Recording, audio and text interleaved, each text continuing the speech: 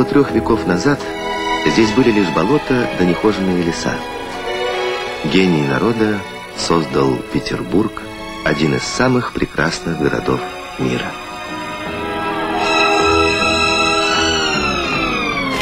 Дорогие друзья, всем привет! С вами Илья. Мы забрали эту новую Audi R6 позавчера. Вчера оклеили и сегодня уже оказались в Питере, проехали тысячу километров и все не просто так. Наша задача сегодня ответить на один очень простой вопрос. Появился у BMW и Mercedes достойный конкурент в лице обновленной Audi R6. Поэтому устраивайтесь поудобнее, мы начинаем. Поехали!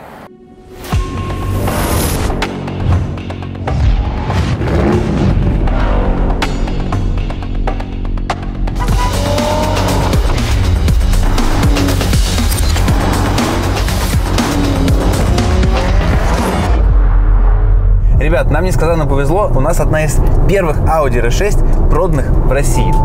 А, дело в том, что я не являюсь фанатом марки Audi, у меня была R8, кстати, отличный автомобиль, ничуть не хуже Урагана, как мы выяснили, но поколение C8, RS6, RS7 даже я уже начал ждать, потому что вся автомобильная общественность, даже с некоторым негодованием, уже требовали от Audi обновления линейки.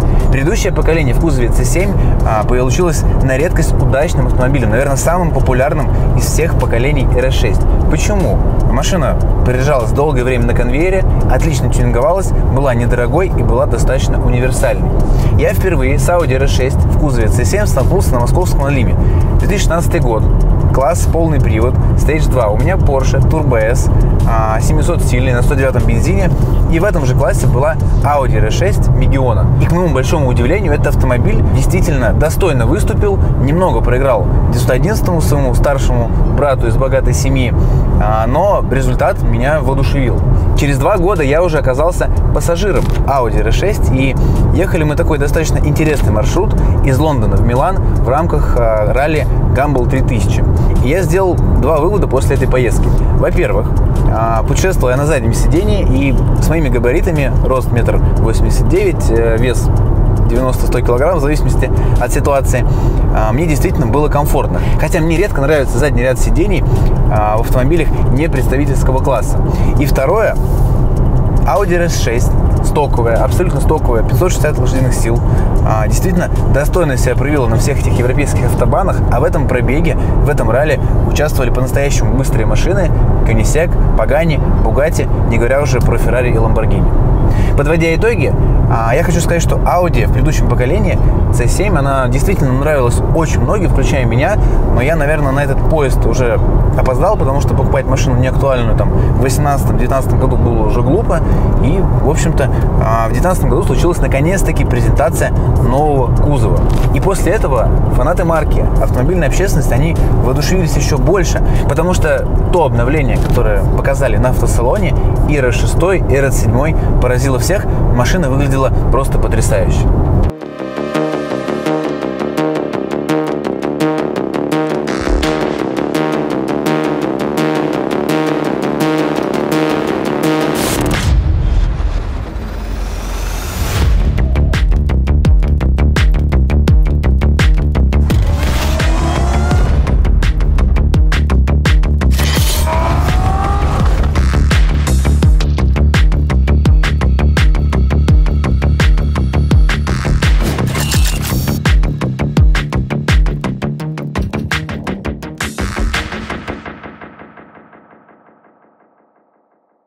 Если дизайн предыдущего поколения Audi R6 вызывал достаточно сдержанные чувства, такой лаконичный автомобиль, интересный, но без каких-то нот эмоций повышенных, то когда я увидел обновленный R6 и RS7 два года назад, я сказал, да ладно, они это сделали.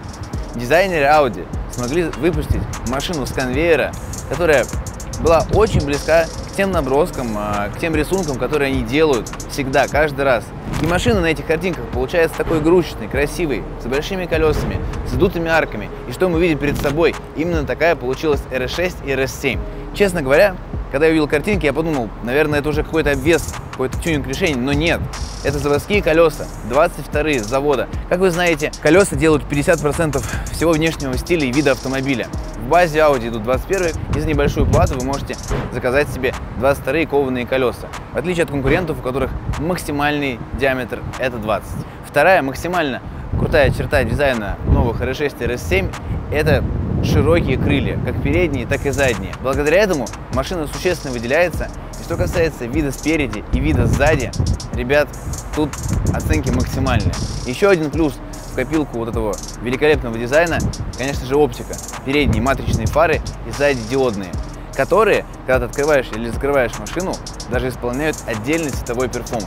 В итоге, несмотря на то, что машина была представлена два года назад, я уверен, что еще в течение 5-7 лет она будет актуальна и будет смотреться современной. Что касается экстерьера, Audi действительно удивила многих. Машина выглядит очень круто.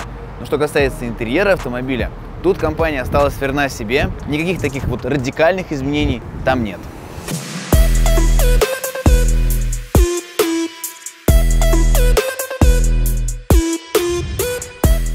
Ребят, у нас на тесте черная, комфортная Audi RS6. А у меня в руках удобная черная карта Тинькофф Black. Почему? Потому что 6% годовых на остаток. Потому что 1% кэшбэка на все покупки и до 15% кэшбэка на выбранные категории. Каждый месяц от 3 до 6. 20% кэшбэка на покупки билетов в кино, в театр и на концерт через приложение Тинькофф. И этот кэшбэк, ребята, он приходит не какими-то баллами, он приходит настоящими рублями, которые вы можете снять бесплатно в любом банкомате мира или можете также абсолютно бесплатно перевести на любую карточку вашему другу. И если вам всего вот этого вышеперечисленного мало, то Тиньков, конечно же, как обычно, подготовил для вас акцию, чтобы вы перешли по ссылке и оформили карту. Суть ее заключается в том, что 10 счастливчикам, которые закажут карту в этом месяце, все траты по этой карте будут компенсированы в полном объеме. Вернется все. Так что оформляем карту, совершаем покупки, и я очень надеюсь, что одному из вас повезет. А мы едем дальше.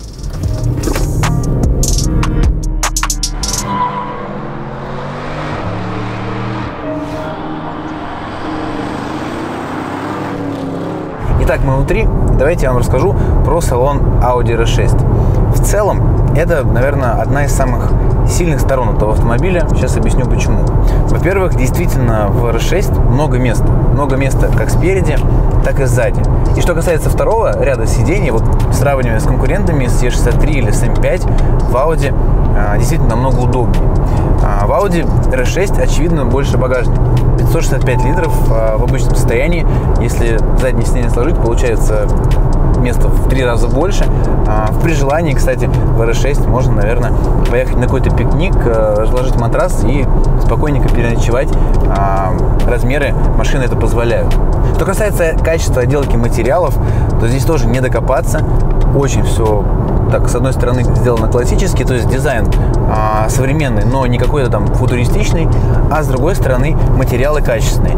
И вот по материалам, по карбону, по алькантаре, а, я могу сказать, что узнаю здесь другую марку, она называется Porsche, старший брат, один концерн. Еще я хочу добавить, что к моему большому удивлению, а, я не испытываю какой-то негативной эмоции от мультимедии. Здесь два больших экрана, 10,8 дюймов, а на одном, значит, музыка, навигация и все остальное, в другом климат. Мы все не любим вот этот новодел, эти сенсорные экраны. Вот раньше были кнопки, раньше было лучше, согласен. Однако в случае с Audi мне вот эти тачскрины нравятся, ими пользоваться удобно. Тачскрины емкостные, то есть э, на любое твое нажатие экран реагирует, прожимается, таким образом дают некий отклик в палец и создается впечатление такого полуцифрового аналогового варианта, ну, наверное, это лучше, чем если бы просто был тачскрин. Единственное, что в салоне мне сейчас единственное, да, слушай, как оно все время пищит, что порог этот превышен 120, да, я буду ехать 110, все. Но есть, ребята, две вещи, которые я могу записать в минус касательно интерьера.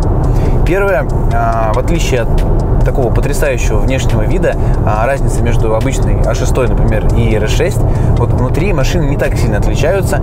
А, да, есть какие-то фирменные шильдики RS, но по большому счету разница не кардинальна. Наверное, за цену, которая превышает а, в два раза гражданский автомобиль, хотелось бы увидеть что-то более необычное и внутри, не только снаружи. И второе, а, в отличие от конкурентов, у Audi R6 очень скудный выбор по различным вариантам отделки. Хотя раньше а, была программа Audi Exclusive, сейчас она недоступна, а, поэтому никаких там интересных решений по салону нету, да и выбор расцветок он существенно ограничен. Машина стала стоить дороже, машина стоит там порядка 13-14 миллионов рублей. Я уверен, что процент людей, которые выберут Audi R6 за комфорт, за дизайн, за отделку салона будет достаточно высок. Но, с другой стороны, нас, автолюбителей, автоэнтузиастов, конечно, прежде всего интересует, как новая версия RS6, как новая версия RS7 чувствует себя на дороге, как она едет и насколько проигрывает или выигрывает у конкурентов. Правильно? Правильно.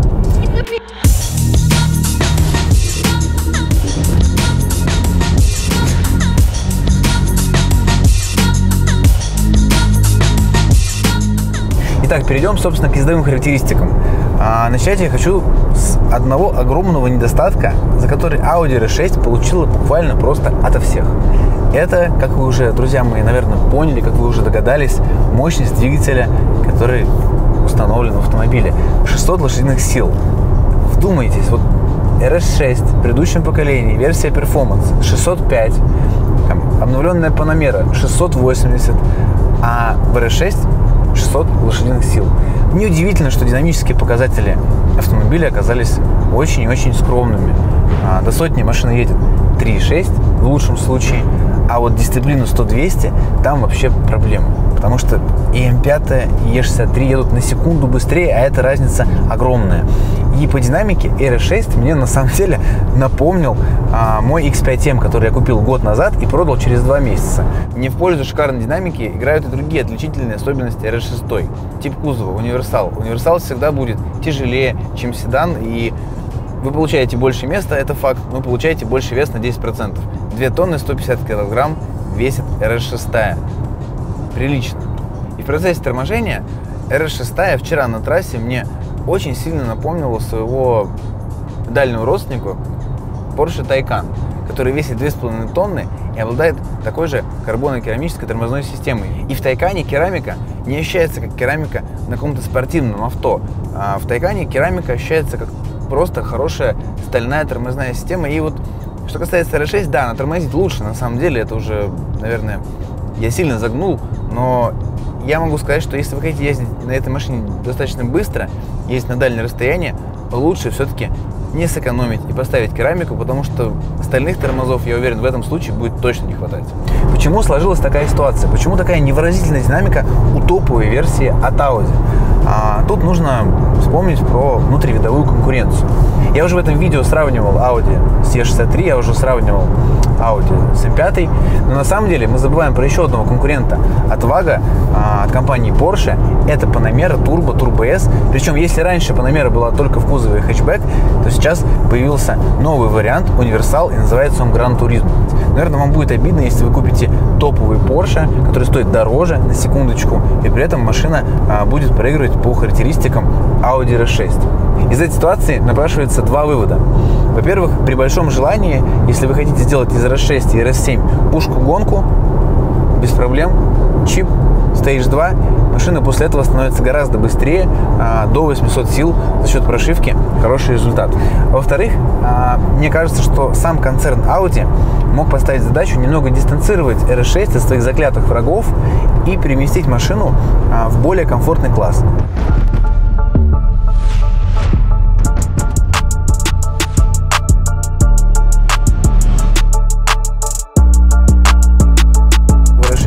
Одно огромное преимущество по сравнению с конкурентами.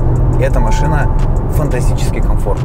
Как только мы забрали RS6, первые километры я был просто в восторге. Я думал, вот это пневмоподвеска, вот это Audi, вот это ВАК, вот это молодцы. Как комфортно, как тихо, даже на 22 колесах, просто фантастика. И этим же вечером я понял, а, что я ошибся. И эта ошибка, она отлично характеризует плавность хода у Audi. Дело в том, что в этой машине стоит не пневмоподвеска, которая в базе у RS6 и у RS7. В этой машине стоит специальная отдельная опция, она называется DRC или спортивная подвеска RS+, а, в которую входят амортизаторы с изменяемой жесткостью. И это означает, что если бы этой опции не было, то RS6, которую мы купили, была бы еще комфортнее. Хотя куда комфортнее, комфортнее всех конкурентов с головой.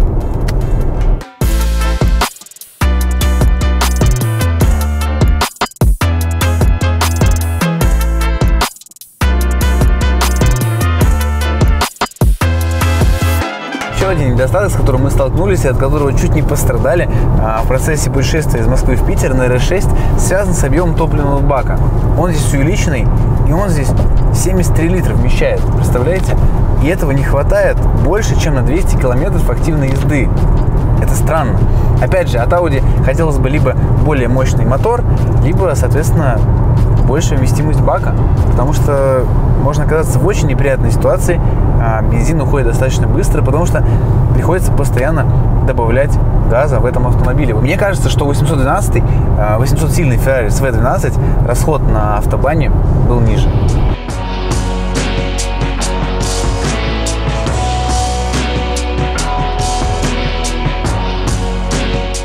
Ну и последнее, о чем бы я хотел поговорить сегодня, это стоимость автомобиля. И если вы думаете, что RS6 стоит дешевле своих конкурентов, как это было обычно, то тут вас ждет сюрприз. И проблема на самом деле даже целых две.